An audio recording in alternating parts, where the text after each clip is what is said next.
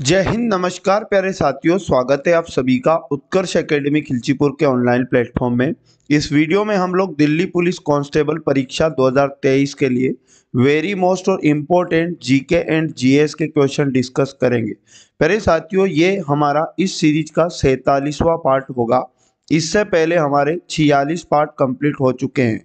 अगर आपने पिछले पार्ट नहीं देखे तो प्लेलिस्ट आपको मिल जाएगी, जहाँ जाकर आप बाकी के पार्ट भी देख सकते हैं। प्यारे साथियों, ये ऐसे क्वेश्चन है जो एग्ज़ाम के अंदर बार बार रिपीट होते हैं। इसलिए एक भी क्वेश्चन बिना स्किप किए मेरे साथ आपको लास्ट तक बने रहना है।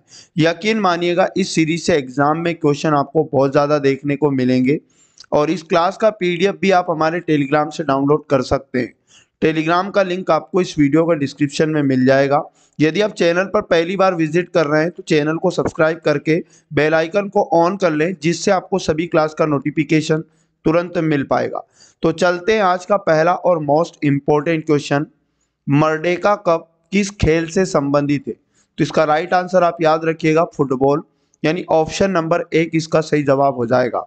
अच्छा हॉकी खेल के प्रमुख कप एवं ट्रॉफियाँ आपको याद रखना है, आगा खान कप और Dhyanchand trophy, Sultan Azlan Shah cup. और उसके बाद टेनिस खेल से आपको याद रखना है, Davis cup, doctor Rajendra Prasad cup और वाइट मैन कप। और क्रिकेट से आपको याद रखना है, Ashes cup, Asia cup C K Nayudu trophy, Deodhar trophy और दिलीप ट्रॉफी। क्वेश्चन नंबर दो। विक्रम साराभाई की पत्नी मृणालिनी साराभाई प्रसिद्ध, किसकी नृत्यांगना थी? तो इसका राइट आंसर हो जाएगा भरतनाट्यम। यानी ऑप्शन नंबर चार इसका सही जवाब है। क्वेश्चन नंबर तीन हमारे पास कृष्ण नट्टम निम्नलिखित में से किस राज्य का प्रसिद्ध नृत्य है? तो इसका राइट आंसर हो जाएगा केरल। ऑप्शन नंबर चार इसका राइट आंसर हो जाएगा। आंध्र प्रदेश से आपको याद रखना है, कुचिपुड़ी, वहाँ का प्रसिद्ध नृत्य है। और तमिलनाडु, आप याद रखिएगा, भरतनाट्यम नृत्य की उत्पत्ति तमिलनाडु से हुई है और कर्नाटक से आपको याद रखना है, यहाँ का फ़ेमस नृत्य यक्ष गान है। क्वेश्चन नंबर चार, निम्नलिखित में से कौन सा नृत्य उन महिलाओं की पीड़ा को दर्शाता है, जिनके साथी घर से चले गए हैं? तो इसका राइट आंसर आपको याद रखना है, बिरहा। ऑप्शन नंबर दो, इसका सही जवाब हो जाएगा। पहले साथियों, ये मटकी आप याद रखिएगा, मध्य भारत। का मालवा क्षेत्र, जहाँ मटकी नृत्य सबसे अधिक प्रचलित हैं, और उसके बाद ये पाइका भी आप याद रखिए, ओडिशा के लोकप्रिय मार्शल लोक नृत्य हैं। अगला क्वेश्चन लोसर त्योहार जो मोनपा जनजाति के लोगों द्वारा मनाया जाता है। निम्नलिखित में से किस राज्य से संबंधित है? तो लोसर त्योहार आप याद रखिएगा अरुणाचल प्रदेश। यानी ऑप्शन नंबर दो इस क्वेश्चन का राइट आंसर है। निम्नलिखित में से किस राज्य सरकार ने मुख्यमंत्री लाडली बहना आवास योजना शुभारंभ किया? तो राइट आंसर आपको मध्य प्रदेश याद रखना है। यानी ऑप्शन नंबर दो, इसका सही जवाब हो जाएगा। इस योजना के तहत जो परिवार विभिन्न आवासीय योजनाओं में आवास सुविधा का लाभ पाने से वंचित रह गए थे, उन्हें इसके तहत अपना मकान मिलेगा। मुख्यमंत्री लाडली बहना आवास योजना। अगला क्वेश्चन निम्नलिखित में से किस देश ने क्रिकेट एशिया कप 2023 जीता? तो इसका राइट आंसर हो जाएगा भारत। आगे यदि बात करें भारत ने श्रीलंका को 10 विकेट से हराकर आठवीं बार एशिया कप क्रिकेट का खिताब जीता। अगला क्वेश्चन है निम्नलिखित में से कौन सी महिला पैरा कमांडो बनने वाली महिला आ, महिला आर्मी सर्जन बन गई हैं? तो इसका राइट आंसर आपको याद रखना है पायल छाबड़ा। ऑप्शन नंबर एक इसका बिल्कुल राइट आंसर हो जाएगा। और पायल छाबड़ा याद रखिएगा, ये हरियाणा राज्य की रहने वाली हैं। अगला क्वेश्चन भारत सरकार अधिनियम 1909 का संबंध किससे था?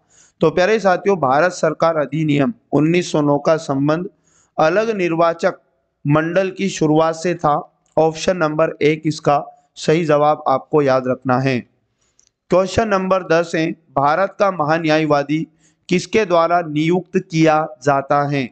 तो सही जवाब आपको याद रखना है भारत के राष्ट्रपति। ऑप्शन नंबर दो इसका करेक्ट आंसर हो जाएगा। अगला क्वेश्चन है, भारतीय संविधान का कौन सा अनुच्छेद? मंत्री परिषद की नियुक्ति और अयोग्यता का वर्णन करता है। उस अनुच्छेद का नाम आपको याद रखना है, अनुच्छेद पिचहत्तर। ऑप्शन नंबर चार इसका सही जवाब है। अनुच्छेद सत्तर का संबंध अगर एग्ज़ाम में पूछ लिया जाए तो राष्ट्रपति का निर्वाहन अन्य आकस्मिकताओं में संसद कार्य करता है। और उसके बाद अनुच्छेद बहत्तर, राष्ट्रपति की समाधान शक्तियाँ। और उसके बाद अनुच्छेद चौहत्तर, आपको याद रखना है, मंत्री परिषद की स्थिति से संबंधित हैं। क्वेश्चन नंबर बारह, लोरियस वर्ल्ड स्पोर्ट्स अवार्ड्स 2023 में world sportsman of the year award से किसे सम्मानित किया गया? तो सही जवाब आपको याद रखना है, लियोनेस मेसी ऑप्शन नंबर दो इसका सही जवाब है। अगला क्वेश्चन है, प्राचीन मगध की निम्नलिखित में से किस गुफा में प्रथम बौद्ध परिषद का आयोजन किया गया था? तो उस गुफा का नाम आपको याद रखना है, सप्तपर्णी गुफा। ऑप्शन नंबर दो इसका सही जवाब है। और प्रथम बौद्ध परिषद चार सौ तिरासी ईसा पूर्व में राजगृह में और महाकश्यप इसके सभापति थे। इतनी जानकारी प्रथम बौद्ध परिषद से आपको याद रखना है। अगला क्वेश्चन निम्नलिखित में से कौन सा राज्य भारत में रबड़ का प्रमुख उत्पादक है? तो इसका सही जवाब केरल हो जाएगा। ऑप्शन नंबर दो, सही जवाब है। सामान्यतः राष्ट्रमंडल खेल कितने वर्षों के अंतराल में आयोजित किए जाते हैं? तो प्यारे साथियों, राष्ट्रमंडल खेल प्रति चार वर्ष के अंतराल में आयोजित किए जाते हैं। ऑप्शन नंबर दो इसका सही जवाब हो जाएगा। राष्ट्रमंडल खेलों को पहले ब्रिटिश एम्पायर गेम कहा जाता था और पहले राष्ट्रमंडल खेलों का आयोजन 1930 में हुआ था हैमिल्टन, कनाडा में। तो इतनी जानकारी इस क्वेश्चन से आपको याद रखना है। तो प्यारे साथियों, ये थे वेरी मोस्ट और इम्पोर्टेंट टॉप पंद्रह क्वेश्चन तो पर डे आप इस सीरीज़ को ज़रूर वॉच किया करें। आपको एग्ज़ाम में इससे बहुत ज़्यादा हेल्प मिलने वाली। मिलेंगे नेक्स्ट वाले पार्ट में। जय हिंद, जय भारत। वंदे मातरम।